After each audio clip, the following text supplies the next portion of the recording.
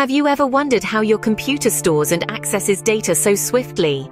Indeed, the speed at which our machines process information is nothing short of miraculous. At the heart of this digital wizardry is a key player, computer memory. This is the stage where data dances to the rhythm of ones and zeros. But not all memories are created equal. They come in different types, each with its unique characteristics and roles. One of these types, the static random access memory or SRAM, plays a pivotal role in determining the speed of data access. Imagine SRAM as the elite athlete in the memory team. It's swift, efficient, and always ready for action. It's like the sprinter who delivers the baton in a relay race, ensuring that the flow of data never breaks stride. But why should you, as a computer science student or a tech enthusiast, care about SRAM? Well, understanding SRAM is akin to peeking under the hood of your computer. It unravels the enigma of your machine's speed, giving you insights into how data is stored and accessed at lightning pace. SRAM is not just about speed though, it's also about reliability. SRAM is the trusted custodian of your data. Unlike other types of memory that need to refresh their data periodically, SRAM retains its data as long as power is applied. This makes it a go-to choice for applications that demand both speed and reliability. So as we embark on this journey to unveil the secrets of your computer's speed, remember that SRAM is more than just another piece of technology. It's the silent hero that ensures your computer delivers peak performance, whether you're coding the next big app, playing your favorite game, or simply browsing the web. Now that we've set the stage, it's time to delve into the world of SRAM. Let's unveil the enigma of your computer's speed, one bit at a time. So, what makes SRAM special? Well, to begin with, SRAM, or Static Random Access Memory, uses bistable latching cells to store each bit of data. Imagine a cell as a tiny box that can hold a 0 or a 1. Each cell has cross-coupled inverters that form a latch, deciding whether it's a 0 or a 1. Now, unlike its cousin, the dynamic RAM, or DRAM, SRAM doesn't need to constantly refresh itself to remember what it's storing. As long as power is supplied, SRAM will hold on to its data. It's like a loyal dog that won't let go of its bone as long as you're there to pet it. One of the key features of SRAM is its speed. It provides faster access times compared to DRAM. So if you're in a hurry to read or write data, SRAM is your go-to guy. Speaking of reading and writing operations, SRAM supports both. Plus, the reading operation is non-destructive and the data can be written back without the need for a refresh cycle. You'll often find SRAM in high-speed caches within processors. The speed of SRAM helps to store and retrieve frequently accessed data rapidly, thereby improving the overall system performance. It's like having your favorite snacks at arm's length when you're watching a movie, but it's not all sunshine and rainbows with SRAM. Due to its larger cell size compared to DRAM, SRAM has a lower storage density. It's like having a large spacious house but fewer rooms. Consequently, SRAM tends to be more expensive per bit compared to DRAM. However, on the bright side, SRAM consumes less power when in standby mode compared to when it's in active operation.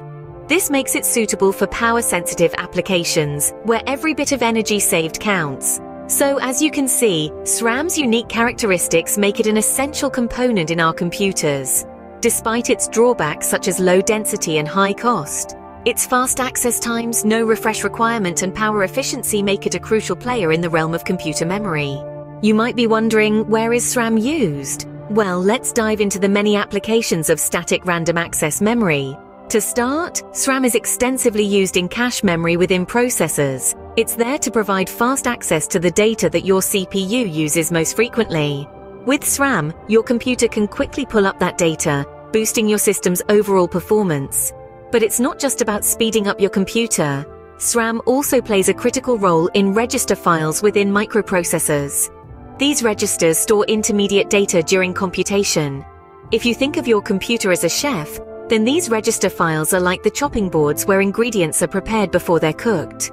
And SRAM keeps these chopping boards working quickly and efficiently.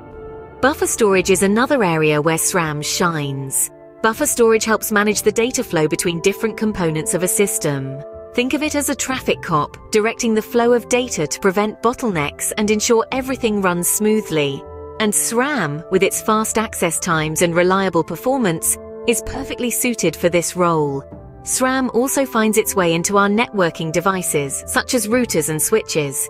It stores routing tables and temporary data, helping these devices direct internet traffic quickly and efficiently. In the world of embedded systems, SRAM is a star player. These systems, ranging from medical devices to car engines, require fast data storage and retrieval. And SRAM, with its speed and reliability, fits the bill perfectly.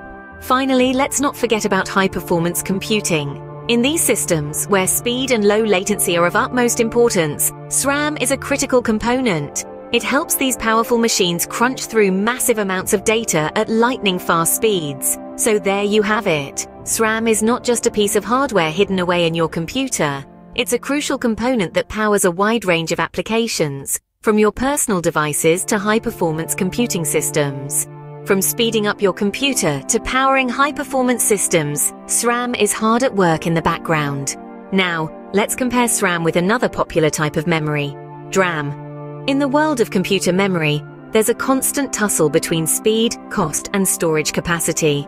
SRAM and DRAM, two types of RAM, are key players in this arena.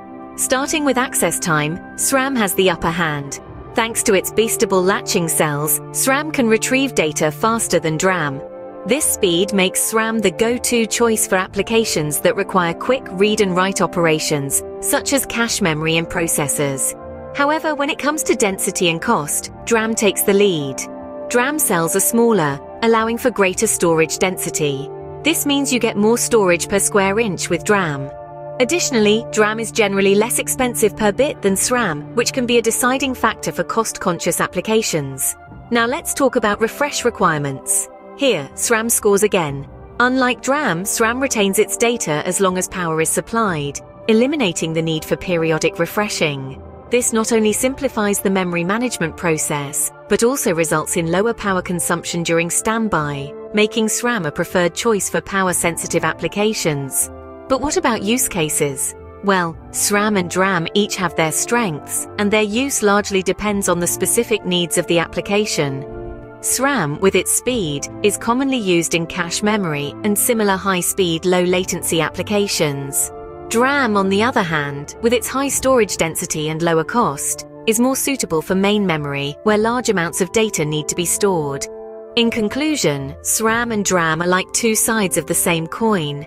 They serve different purposes, yet they're both indispensable in the realm of computer memory.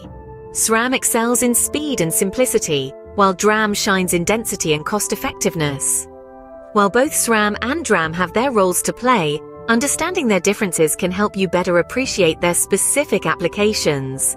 Let's recap what we've learned about SRAM. Static Random Access Memory, or SRAM, is a volatile semiconductor memory that uses bistable flip-flops to store each bit of data.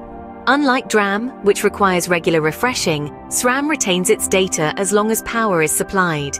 This makes it an ideal choice for cache memory, register files, and other applications where rapid and reliable access to data is paramount. The structure of SRAM cells is quite unique.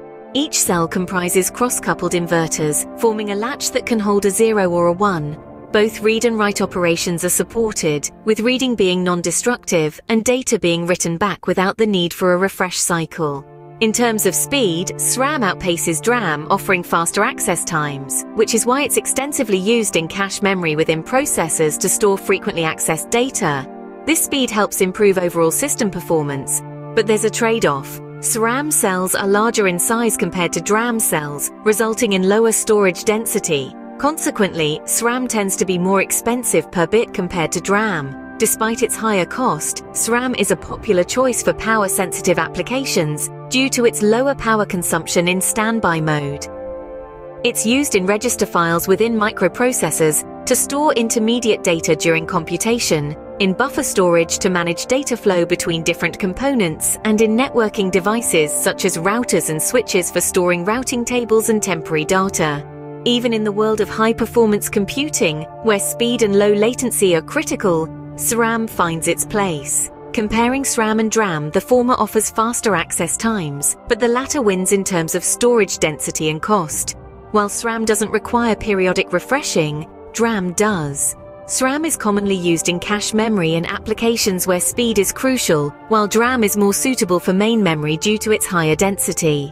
In conclusion, both SRAM and DRAM serve different purposes. They're both essential components in modern computing systems, each addressing specific needs in terms of speed, density, and cost. Next time your computer processes data at lightning speed, remember the crucial role SRAM plays in making that happen.